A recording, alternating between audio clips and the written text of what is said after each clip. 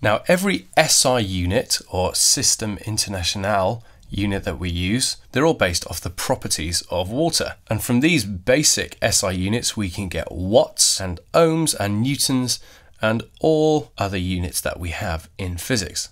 They're all just vanilla units, as it were. We're not changing them in any way. But the only exception to this is kilograms. Kilograms is the standard unit for mass. Yes, we have a kilo in front, so technically we have a prefix, but whenever we use an equation that has mass in, we have to use kilograms, not grams. That's the only exception. Kilo, as you know, means a thousand. So a kilogram is a thousand grams, just like a kilometer is a thousand meters. So even though a joule isn't an SI unit because it's derived from force times distance and force is derived from mass times acceleration, we're going to have a look at that now. If you have five joules, well, you don't have to do anything with that. It's just five joules. You can put that straight into an equation. But what if you're given kilojoules instead? So joules, well, that's just times by one, isn't it? Kilojoules is times by a thousand. If you have five kilojoules, then that means that you have 5,000 joules. Let's go one step further. What about if we have megajoules? Mega means a million. So this times this number here.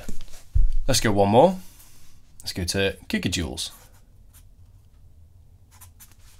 That's times by a billion or a thousand million. Do you notice something going on here? Every time we go up one of these prefixes, we're actually timesing by another thousand. Now, we have an easier way of dealing with this, and that is called standard form. Instead of times timesing by these massive numbers here and trying to remember how many zeros we've got, all we do is times by 10 the right number of times. A thousand is 10 times 10 times 10. In other words, it's 10 cubed, 10 to the power 3. Here we have a thousand times another thousand. So we're timesing by 10 three times and then another three times as well. So this is actually times 10 to the 6. And this one here, you guessed it, times 10 to the 9. So it's really useful. We're going up in thousands each time we have a prefix like kilo, mega, and giga. Now you do have to remember these prefixes. Hang on a second though, 10 to the 9, 10 to the 6, 10 to the 3. What's just a joule then? Well, if you go down in threes, then technically this should be times 10 to the 0. Does that make sense? 10 to the 0, well, that's actually technically 10 divided by 10. So yeah, that gives us 1. So that makes sense. What about if we go smaller than a joule? We go to a thousandth first. And that's a millijoule. And that's divided by a thousand. So if we're dividing by a thousand now, we could say we're dividing by 10 to the 3. But instead we say we're timesing by 10 to the minus 3. We're dividing by 10 three times. If you have something to the minus power, that means you're dividing by it. So even though it has a times in front, yeah, we're getting smaller. What's smaller than a millijoule? Dividing by a million, that's going to be times 10 to the minus 6. That's actually a microjoule. This is often the one that people forget. We have a mu. It's a Greek letter. It's a U with a little tail on the front as well. Let's go down again. Times 10 to the minus 9. That actually gives us a nanojoule. So we've gone to a gigajoule, that's times a billion. We've gone to nanojoule, which is a billionth, and the way I remember it is nano, sounds like nona, minus nine, that's how I remember it. There is actually one more that we can do as well, and that's go down to a picojoule. I can't bother to write out all the zeros, because you get the idea with that. But yes, that's going to be times 10 to the minus 12. There is one more as well. If we go down to times 10 to the minus 15, that gives us a femtometer. And you'll see that come up in the strong nuclear force. Have a look at my particle physics video to see where that comes into play. So these are pretty much all of the prefixes that we use. The standard prefixes that we use anyway. So how do we actually use this then?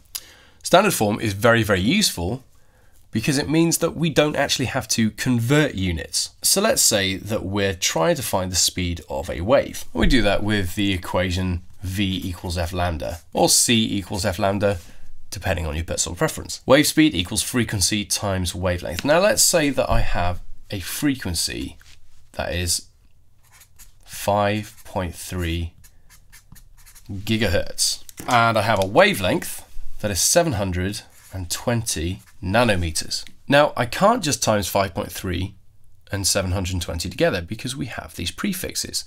All I had to figure out what these prefixes mean in standard form, then I can whack them in. Giga, we said, is a billion, so that's times 10 to the 12. So this is exactly the same as 5.3 times 10 to the 9 hertz. So I've replaced my prefix with standard form.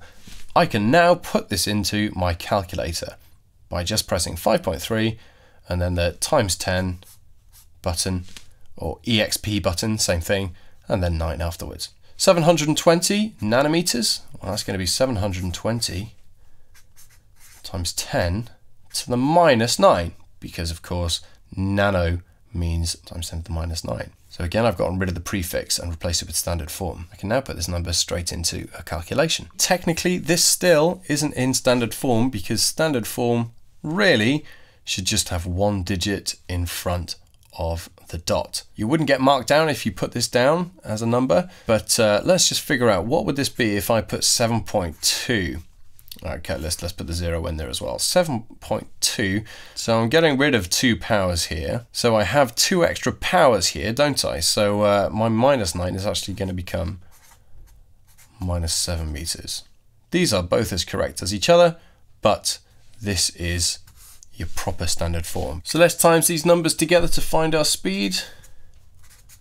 5.3 times 10 to the 9. Just going to pop that into my calculator times 7.20 times 10 to the minus 7. And that gives me a wave speed of 38.16 meters per second. I can write it like that, or I can write it like that, because as we know, anything to the minus power means divide. We're divided by seconds once. Now, just one aside here. This value here, what is its precision? Well, I've only got two significant figures here, two sig figs for short. What about this one here? Well, I got one, two, three, so the precision is 3, or I can infer basically that it's three significant figures. Whenever you calculate something in physics, you can't end up with an answer that's more precise than your least precise value that you're given to do the calculation with. So here we have two sig figs.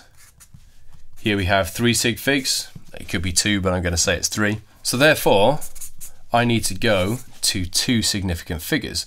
So 38.16, but if a question asks me to give my answer to an appropriate level of precision, I actually have to give that just to 38 meters per second. Now that is the correct precision. So that's standard form and prefixes. I hope you found that useful. If you did, then please leave a like. If you have any questions or think I've missed anything out that you'd like to see, then please leave it in a comment down below and I'll see you next time.